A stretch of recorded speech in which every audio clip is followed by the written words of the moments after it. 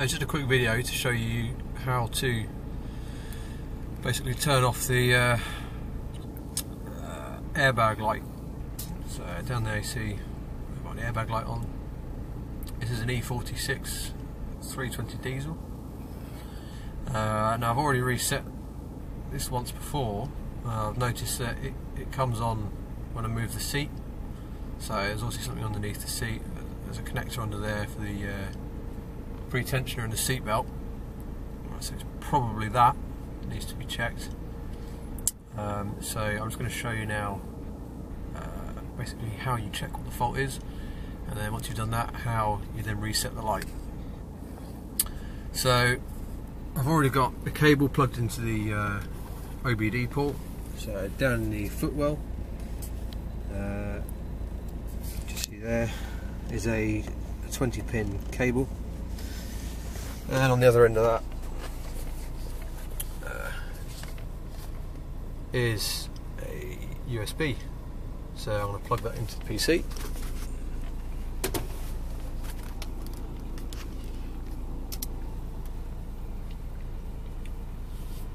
So the cable came from a company called BMW Cables. Uh, you can get that from eBay, Amazon, all the usual places like that. Mine came from eBay. So I plug the cable into the laptop. So the engine is already running. Uh, you don't actually need to get the engine running, but you do need to have the cable in, and you do need to have the ignition on position two. So it's basically all all the lights are on the dash and everything. I've just got the engine running because it's quite cold at the moment. It's three degrees outside. It's winter.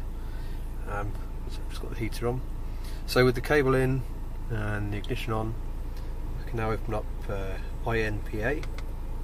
So you'll probably get a copy of this software along with the cable. Uh, I think the cable, including the software, maybe 15, 20 pounds, something like that off eBay. Uh, I can't remember, but if you have a quick look online, you'll soon find it. Uh, notice this is also running on Windows 7. That's also quite difficult to get it going, um, but if you follow the guides, literally uh, word for word, you, you, will get it going. So now I can select uh, E46. So you see on there I've got uh, battery is okay, ignition's on, so it recognises that, which is good.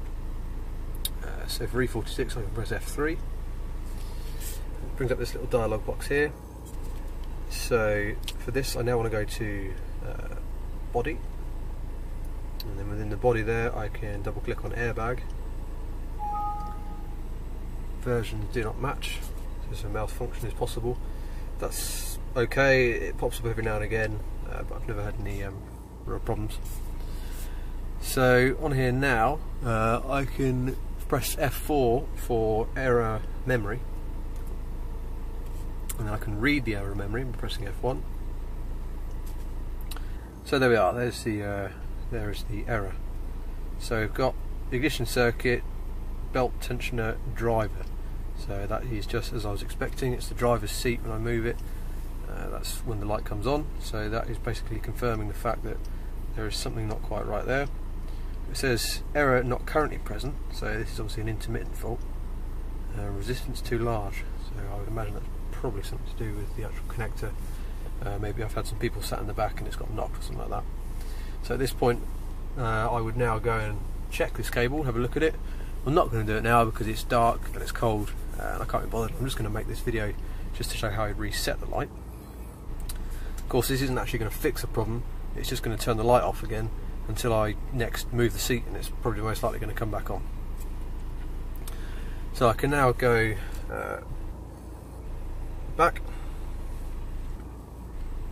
Uh, now I can go back to uh, error memory, which was F4, and then I can press F2 uh, to clear the error memory. So I'm not going to press it just yet, but if I go to that little light over there, you can see it on there.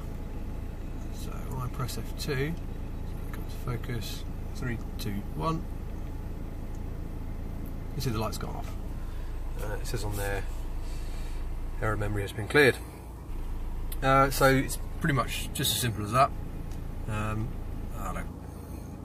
Is it flashing? It's interesting. I haven't seen that. It's just uh, read the error memory. So there it says no errors found. That is strange. I'm Just going to uh, turn the ignition off.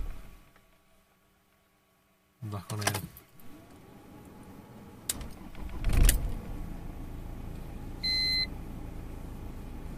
Yeah, so the airbag light's gone off there now. Obviously just needed uh, a restart on the ignition. And that seems fine. Um, so I said this is probably something wrong with the uh, seat. There's probably a connector under it. So actually if I just move my seat backwards and forwards a little bit now, we'll just see whether it comes on all the way back. If I come all the way forwards, generally when my missus drives it, she brings the seat forward quite a bit. And I jump in. But no, well, it seems to have uh, seems to have fixed itself, which is the best kind of problem. so uh, yeah, um, yeah, just you know, comment below and uh, if you have any questions, I'm sure I can answer them.